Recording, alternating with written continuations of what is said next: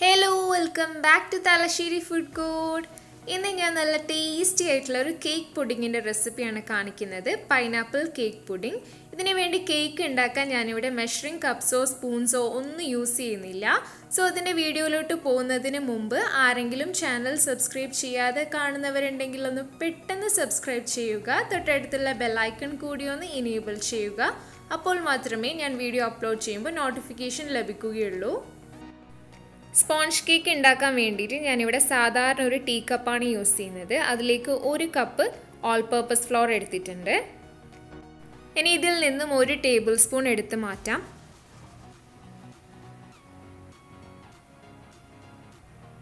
ആ സെയിം ക്വാണ്ടിറ്റിയിൽ ഞാനിവിടെ പാൽപ്പൊടിയാണ് എടുത്തിട്ടുള്ളത്. ഇനി ഇതിലേക്ക് ഒരു table spoon baking powder add ചെയ്ത് കൊടുക്കാം. ഒരു ടീസ്പൂൺ ബേക്കിംഗ് സോഡ ഇട്ട് കൊടുക്കാം. ഒരു പിഞ്ച് ഉപ്പും കൂടി ചേർത്ത് കൊടുക്കാം. ഇനി ഇത് നന്നായിട്ടൊന്ന് അരിച്ചെടുക്കണം.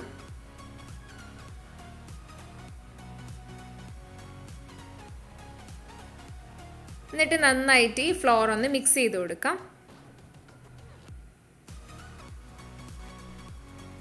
ഞാനിവിടെ റൂം ടെമ്പറേച്ചറിലുള്ള മൂന്ന് മുട്ടയാണ് എടുത്തിട്ടുള്ളത്. അതിലേക്ക് ഒരു table spoon vanilla essence add ചെയ്ത് കൊടുക്കാം. ഇനി ഇതൊന്ന് ജസ്റ്റ് ബീറ്റ് ചെയ്ത് കൊടുക്കാം. ഇനി ഇതിലേക്ക് ഹാഫ് കപ്പ് പൊടിച്ച പഞ്ചസാരയാണ് ചേർത്ത് കൊടുക്കുന്നത്. കുറച്ച് കുറച്ചായിട്ട് ചേർത്തിട്ടൊന്ന് നല്ലപോലെ ബീറ്റ് ചെയ്തെടുക്കാം.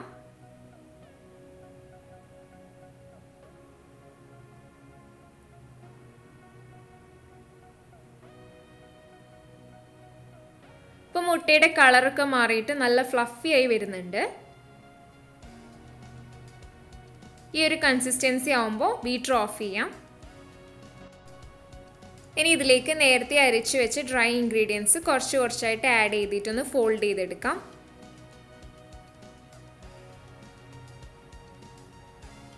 വളരെ സ്ലോ ആയിട്ട് തന്നെ ഫോൾഡ് ചെയ്തെടുക്കണം.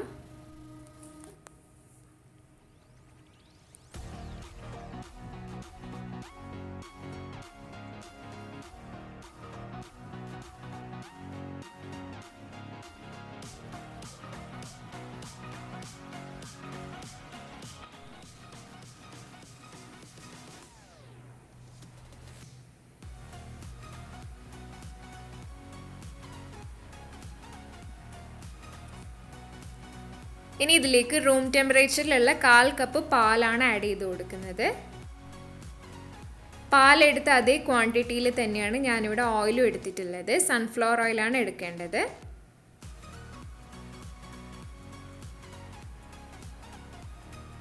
ഇനി ഇതൊന്ന് നന്നായിട്ട് ഫോൾഡ് ചെയ്ത് കൊടുക്കുക. സ്ലോ ആയിട്ട് തന്നെ ഫോൾഡ് ചെയ്ത് കൊടുക്കണം. ഞാനിവിടെ വീഡിയോ സ്പീഡ് ചെയ്തതാണ്. ഇനി കേക്ക് ടിന്നൊന്ന് ഗ്രീസ് ചെയ്ത് കൊടുക്കാം. ഗിയോ ബട്ടറോ യൂസ് ചെയ്യാം. ഇനി ഇതിലേക്ക് ബട്ടർ പേപ്പർ വെച്ച് കൊടുക്കാം. ഇത് ഫസ്റ്റ് ചെയ്യേണ്ട ഒരു സ്റ്റെപ്പായിരുന്നു ഇനി ഇതിലേക്ക് നേരത്തെ റെഡിയാക്കി വെച്ച് കേക്കിന്റെ ബാറ്റർ ഒഴിച്ചു കൊടുക്കാം.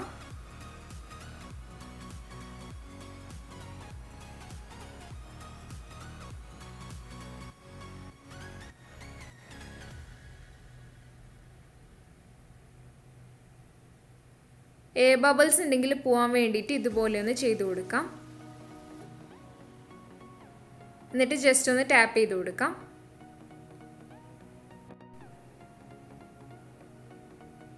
പ്രീ ഹീറ്റ് ചെയ്ത് വെച്ച് പാനിലേക്ക് ഇതുപോലെ കേക്ക് ടിൻ ഇറക്കി വെച്ച് കൊടുക്കാം. ഇനി ഇതൊരു forty to forty five minutes bake ചെയ്തെടുക്കാം. ഇപ്പം കേക്ക് റെഡി ആയിട്ടുണ്ട്. ഈ ടൈം കൊണ്ട് നമുക്ക് ക്രീം റെഡിയാക്കി എടുക്കാം. ഞാനിവിടെ ഫ്ലേവർലെസ് വിപ്പിംഗ് ക്രീമാണ് എടുത്തിട്ടുള്ളത്. അതുകൊണ്ട് കുറച്ച് വാനില എസൻസ് ആഡ് ചെയ്ത് കൊടുക്കുന്നുണ്ട്. ഇനി ഇത് നന്നായിട്ടൊന്ന് ബീറ്റ് ചെയ്തെടുക്കാം. ഒരുപാട് സ്റ്റിഫ് പീക്സ് ആവട്ടെ ആവശ്യമൊന്നുമില്ല.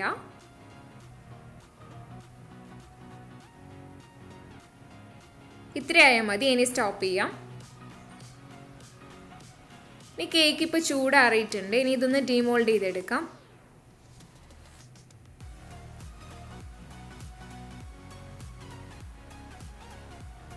ബട്ടർ പേപ്പറൊക്കെ റിമൂവ് ചെയ്ത് കൊടുക്കാം.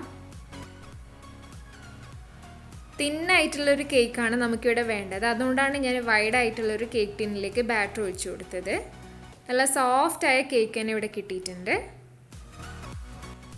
പൈനാപ്പിൾ ഞാനിവിടെ ടിന്നിലുള്ള പൈനാപ്പിളാണ് യൂസ് ചെയ്യുന്നത്. നിങ്ങൾ ഫ്രഷ് ആയിട്ടാണ് എടുക്കുന്നതെങ്കിൽ കുറച്ച് പഞ്ചസാരയും വെള്ളവും ചേർത്തിട്ടൊന്ന് വേവിച്ചെടുത്താൽ മതി.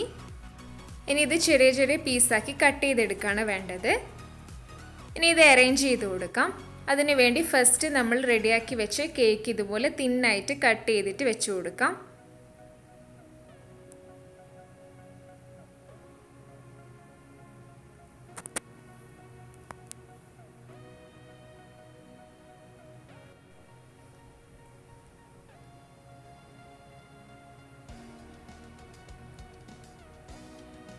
കേക്ക് വെറ്റ് ചെയ്യാൻ വേണ്ടി ഞാനിവിടെ എടുത്തിട്ടുള്ളത് ടിന്നിലുള്ള പൈനാപ്പിളിന്റെ സിറപ്പ് തന്നെയാണ്.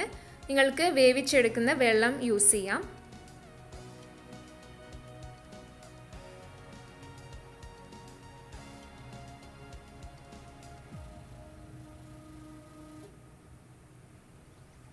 ഇനി നേരത്തെ വിപ്പ് ചെയ്ത് വെച്ച് ക്രീം ഒന്ന് ഈവൻ ആയിട്ട് സ്പ്രെഡ് ചെയ്ത് കൊടുക്കാം.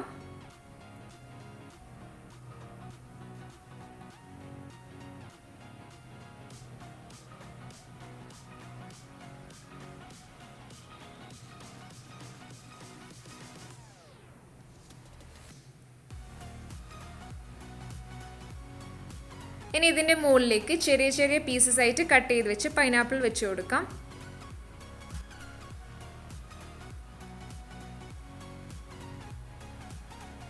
വീണ്ടും സെയിം പ്രോസസ്സ് റിപ്പീറ്റ് ചെയ്യാം. ആദ്യം കേക്ക് വെച്ച് കൊടുക്കാം.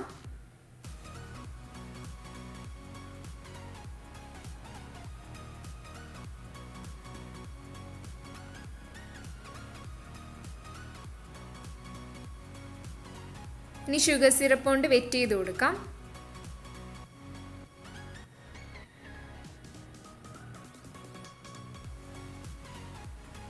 ക്രീം സ്പ്രെഡ് ചെയ്ത് കൊടുക്കാം.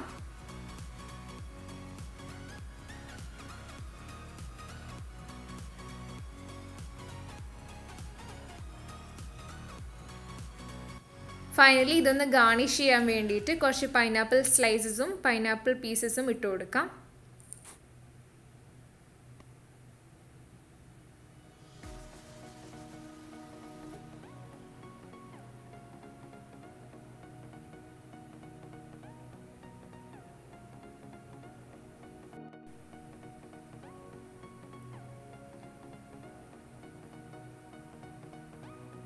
ഇപ്പം നമ്മളുടെ അടിപൊളിയായിട്ടുള്ള പൈനാപ്പിൾ കേക്ക് പുഡിംഗ് ഇവിടെ റെഡി ആയിട്ടുണ്ട്. പാർട്ടിക്കൊക്കെ സേവ് ചെയ്യാൻ പറ്റിയൊരു അടിപൊളി പുഡിംഗ് ആണിത്. എന്തായാലും ട്രൈ ചെയ്തിട്ട് ഫീഡ്ബാക്ക് അറിയിക്കുമെന്ന് വിചാരിക്കുന്നു.